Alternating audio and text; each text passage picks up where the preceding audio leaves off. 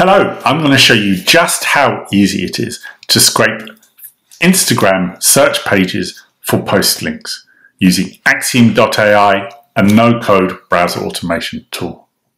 I'm Alex Barlow, co-founder of Axiom. Let's dive in. So how does this Instagram scraper template I'm about to show you actually work?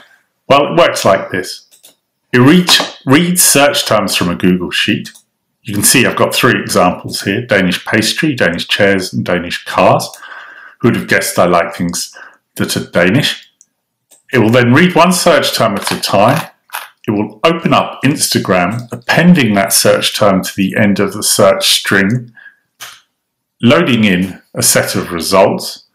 The bot will then scrape the posts that load onto the page, scrolling down the page, collecting as many links as you want. Once it's done, it will write those links to a Google Sheet and then loop through the next search term, repeating the process. Before we go ahead and install the template, you will need a Google Sheet. So get yours set up. Here's mine. Basically, I've got two tabs, terms and data. I'm going to write the data into the data tab and in the search terms, in the term sheet, I've got my terms that I want the bot to, to loop through and scrape. Simple as that. Obviously, we're going to need to install the template to configure it.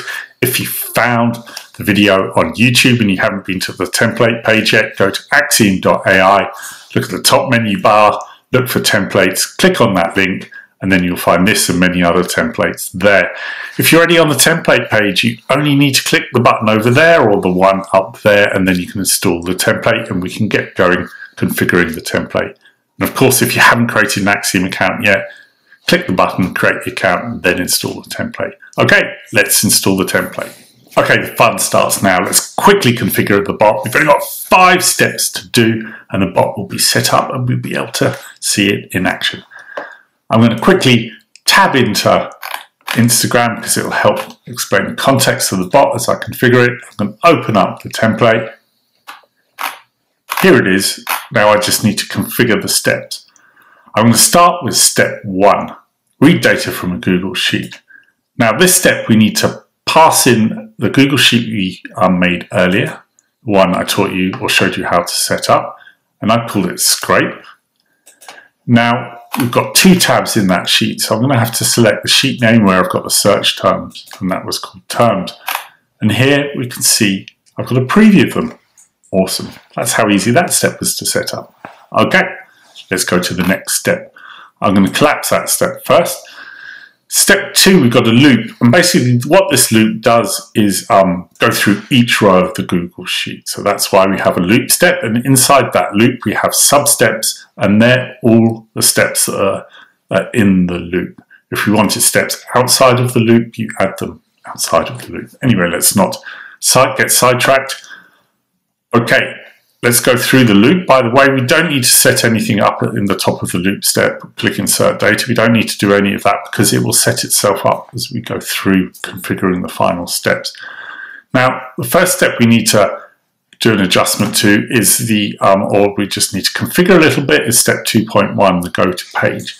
This step loads the URL that we want to visit in, and we're loading a very specific URL string. Here you can see it's the Instagram search string, but I've removed the term from the end. Now I want to re-add that term, but I want it to be a term from the Google Sheet. So to do that, I'm going to click Insert Data because I've already got my sheet connected. I can just plug the data from that sheet in, and it's already highlighted column A, and that's exactly the data I want. And you'll notice my loop is now set up. It's going to loop through those rows in column A, changing the search term each time. That's great. That's exactly what I want the bot to do. So I'm going to collapse that step. It's set up now. Step 2.2 should be set up already. We're going to scrape um, 50 links from each page. The selectors should be already set. I will show you later how to reselect them if you need to change them. Next, step 2.3. We're basically using the append or merge data step here because what we're doing is we're going to take the search term that we've entered in the go-to page and then we're going to append the links we return to that search term and then write them back to the Google Sheet. So our first choice in data A, we want to be the Google Sheet. And the second choice in data B, we want to be the scraped data. Now, we haven't got a preview of column B because we haven't made any selections on the page. That's okay. I'm not worried about that. We've got the append mode. We want them to be horizontal columns. We don't want it to be vertically stacked, so horizontal is correct. So that's the append step. Step 2.3 set up. We've only got a couple more steps to go and we're almost done and we're ready to see the bot in action. Next up, write data. So this is the important step because we, we want to output our data that we scrape and that we've appended to um, the Google Sheet. So let's select the sheet that we, we made for this exercise, and it was called Scrape, but we need to select a different sheet name because we wanted to write to the data sheet and not over the links. And importantly, data, the data we want to select is the appended data because there we connect both the scrape data and the Google Sheet data. So we we're going to write the appended data to the Google Sheet.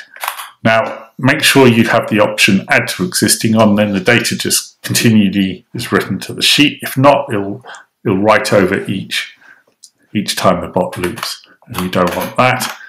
Okay, that's step 2.4 set up. One left, let's speed things up a little bit for you. Step 2.5, really easy to set up. Basically, what this step does is to delete the row we've just searched and scraped. So when the bot loops round, search a new one. Okay, so let's um, select the sheet again, scrape. I'm going to want to remove the search term from the terms sheet name. So that's that part set up and we're just going to delete one row at a time so we don't need to change anything on first row or last row to delete. And that is it, the bot is set up. Let's see how it runs. Now for the magic. I never get tired of watching Axiom automate the browser and automate automate my repetitive work. I do do a lot of work in the browser, so I absolutely love browser automation. Okay, so without further ado, let's click run.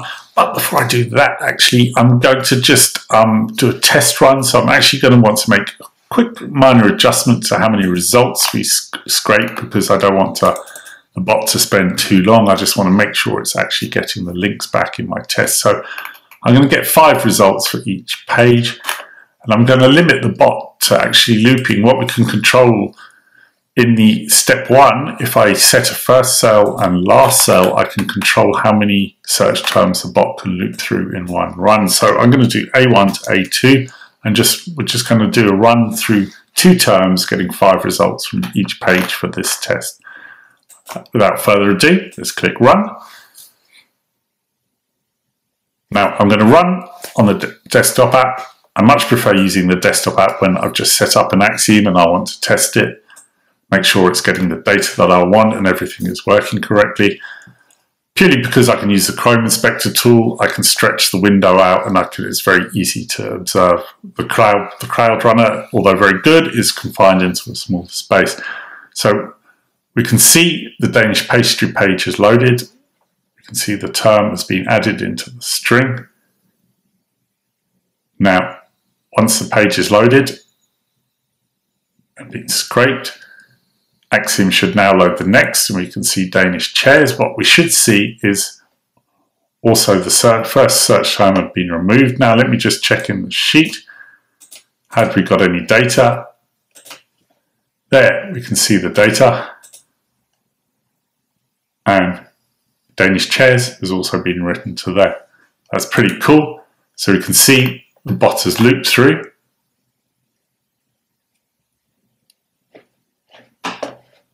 And the run has ended. We've got the links to the posts that we want. Now I can go ahead, do a longer batch run, and I can add more terms to my Google Sheet. So that's pretty awesome.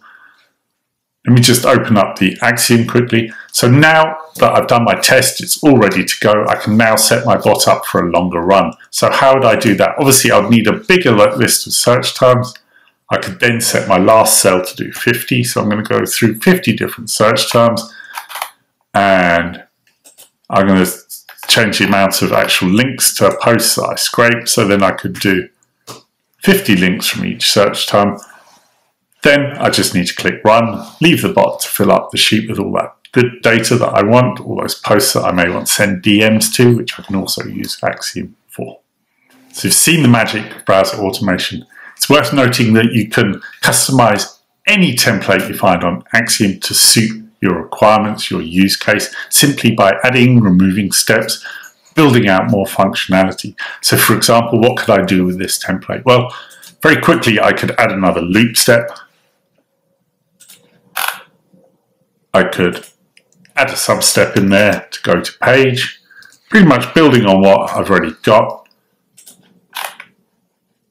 In there, I'm going to remove, remove the URL. I'm going to insert data and I'm going to insert the scraped data of the URLs we just got back. That's pretty cool. So now we can loop through those. I'm just going to add a very simple click. So now I'm going to loop through those URLs and all I'll do is go to one of the, I'm open it in a new tab just because its appearance is a little bit different there.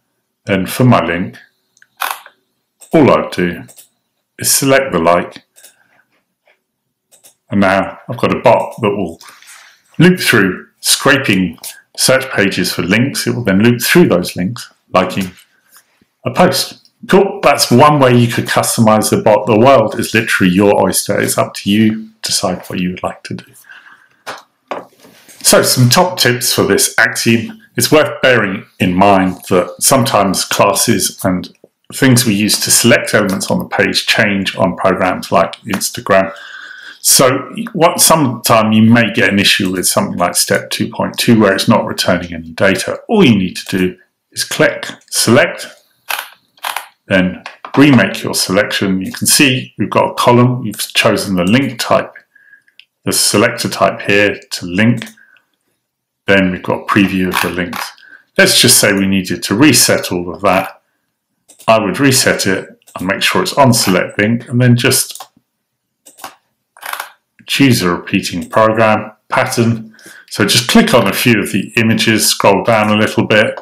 Axiom will work out a, re a repeating pattern. You can see them in the preview. Press complete and that content should now work. Other things you can try, if your data isn't writing into the Google Sheet, make sure you've got the appended data add to existing. And step 2.3, make sure you've chosen in data A, the Google data from Google Sheets, and data column B, the scrape data. That's it for now. Hopefully you enjoy using Axiom. Remember, we've got great customer service. Do reach out if you get stuck and we'll help you. Thank you.